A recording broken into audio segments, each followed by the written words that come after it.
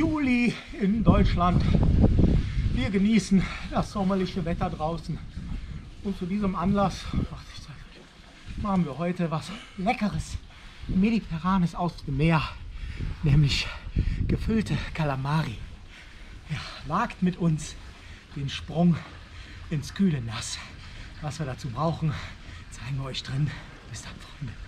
Ciao. Teamküchenton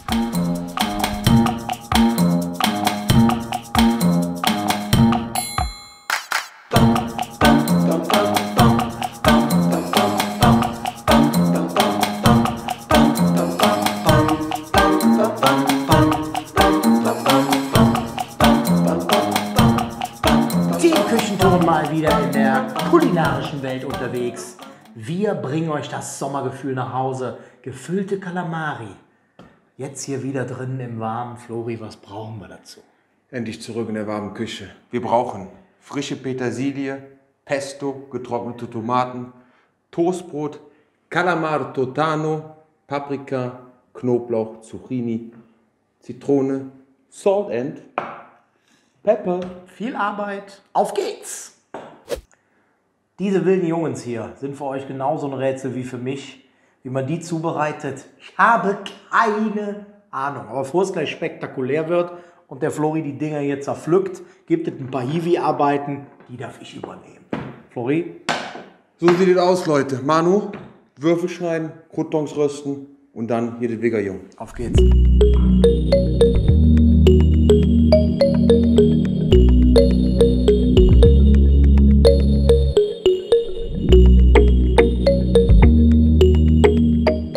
Der Flori Öl in die Pfanne und dann werden die geröstet? Genau. Bis zu welcher Farbe, Flori, rösten wir die? Wie müssen die aussehen? Schön goldbraun. Damit die ein bisschen Farbe haben. Nicht zu viel, schön dabei bleiben, weil die werden auch schnell schwarz, die Jungs. Ne? Okay.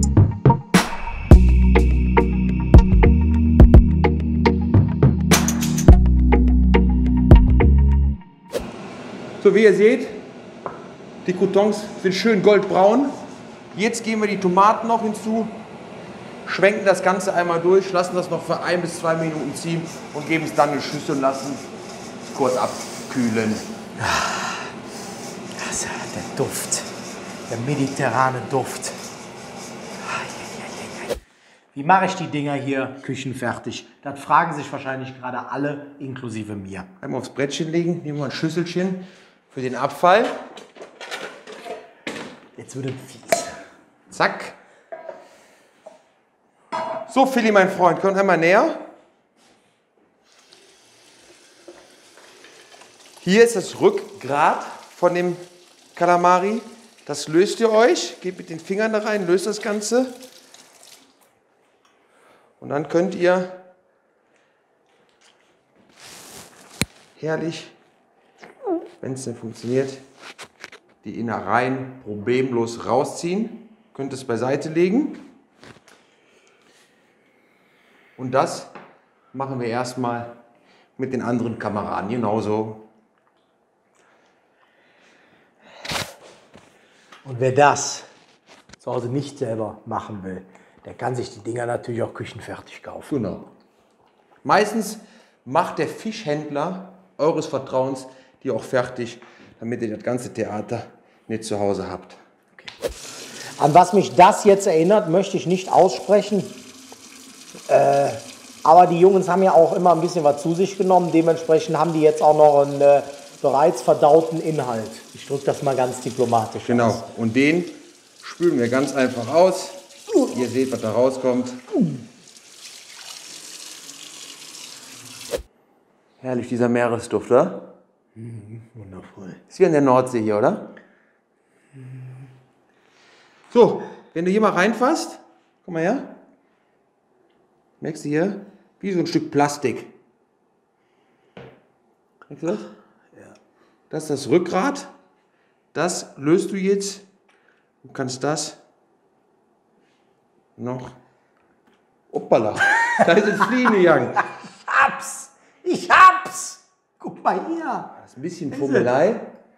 Du kannst das denn, wenn es denn raus will, einfach so wunderbar hier rausziehen.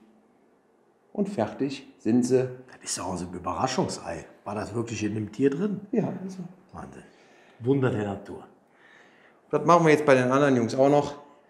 Und dann geht es wieder.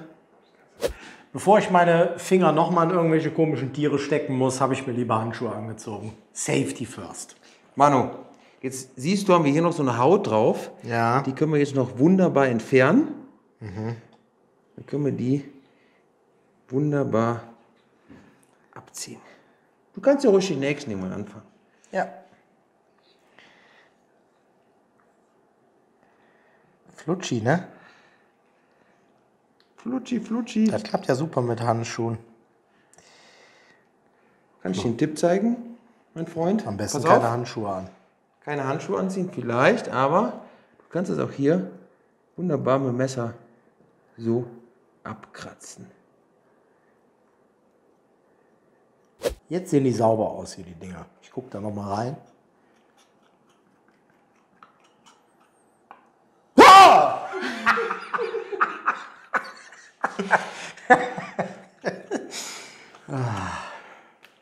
So, das Beleder, Fensterleder ist sauber. Wichtig auch, hinten am Schwänzchen auch die Haut entfernen, damit das alles genießbar ist. Manu, zum Schluss haben wir noch eins. Was ist los? Was ist passiert? Ja, alles klar. So, Manu, jetzt haben wir hier das Köpfchen noch. Ja.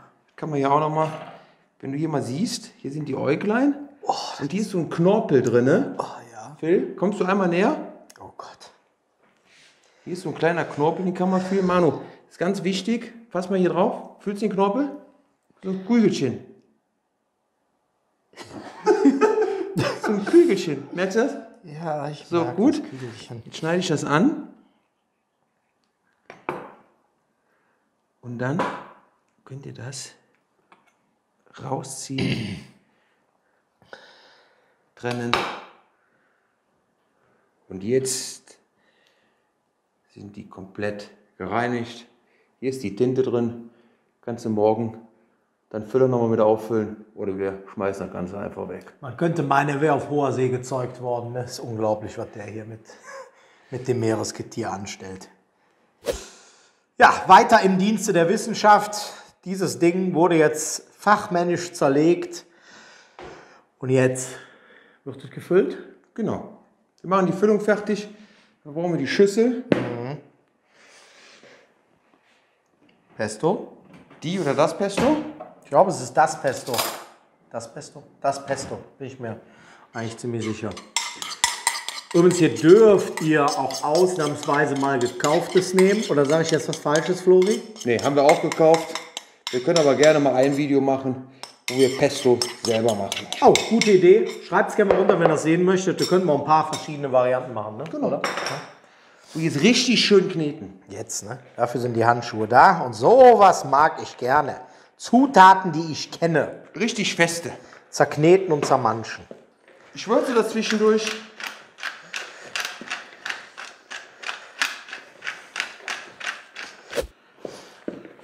So, Manu.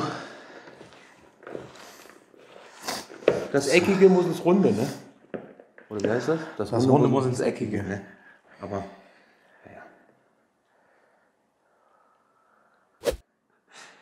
Der erste ist gefüllt. Phil, und wichtig ist, dass ihr oben den Rand so ein bisschen freilasst, weil das zieht sich gleich zusammen, damit die Füllung auch wirklich drin Aber bleibt. der muss jetzt so richtig prall.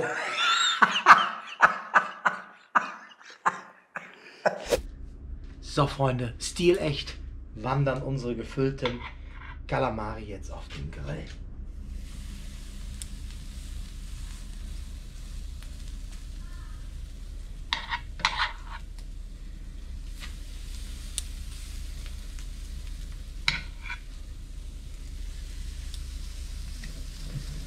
Fünf, sechs Minütchen von jeder Seite. Während der Manu draußen grillt, braten wir die Köpfe an und machen ein leckeres Knoblauchkräutersüßchen dazu.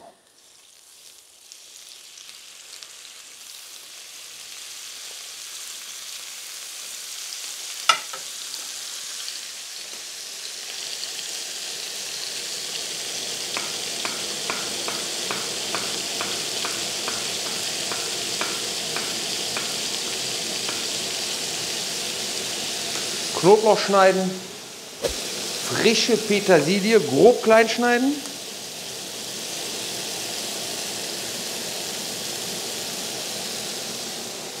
Zitrone brauchen wir auch gleich.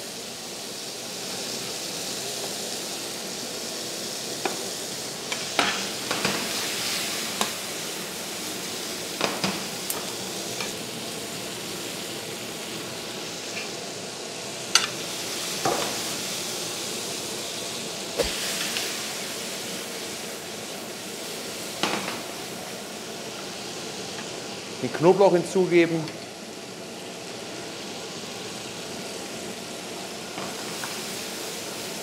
Und mit frischer Zitrone ablöschen.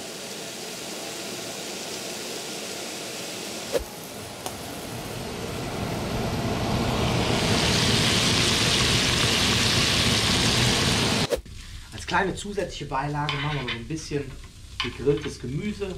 Dafür haben wir uns Zucchini hier in schöne dicke Streifen geschnitten, die ein bisschen eingeölt. Die kommen jetzt mit auf den Grill. Und so ein paar kleine leckere Bratpaprika.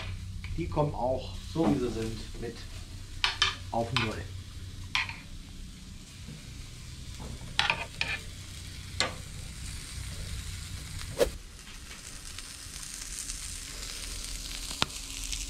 Hauptsache den Arm nochmal.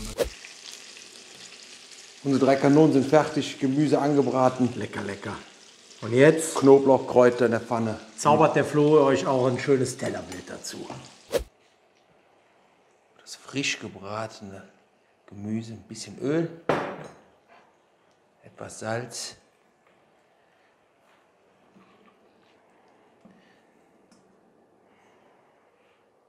Köpfchen mit drauf.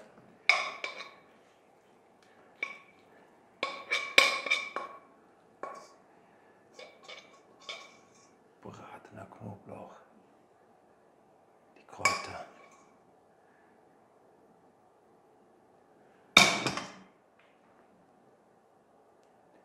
etwas Zitrone. So, ihr Lieben, Essen ist fertig.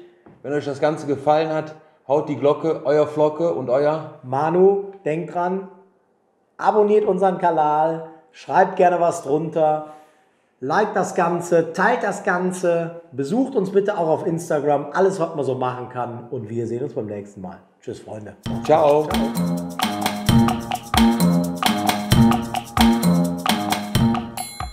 Ja, Freunde, das war halt ein Video, was mich fast bis an meine Grenzen gebracht hätte. Meeresfrüchte und Gemüse. Naja, ihr kennt mich inzwischen. Nicht ganz so mein Fall. Und dann noch mit ordentlich Gemetzel. Aber ich vertraue ja unserem Flori inzwischen. Und trotzdem probiere ich, was er sich hier hat einfallen lassen. Wie immer, die schonungslose Wahrheit. Gefüllte Kalamari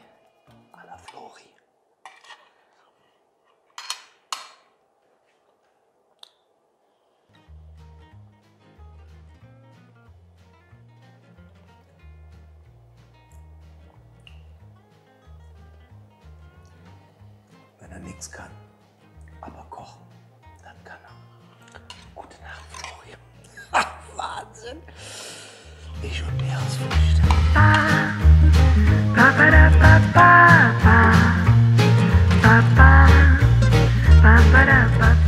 Wenn ihr morgens neben sowas aufwacht, ne? dann wagt eine wilde Nacht.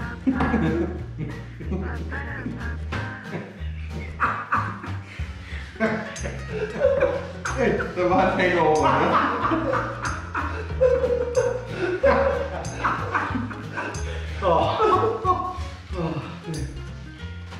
Also vor allem überbleiben. Von ekelhaft. Ist mir das für nie im Video.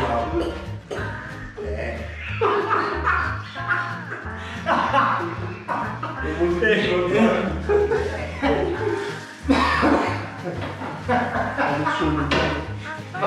Scherze hin oder her. Du musst dir überwinden.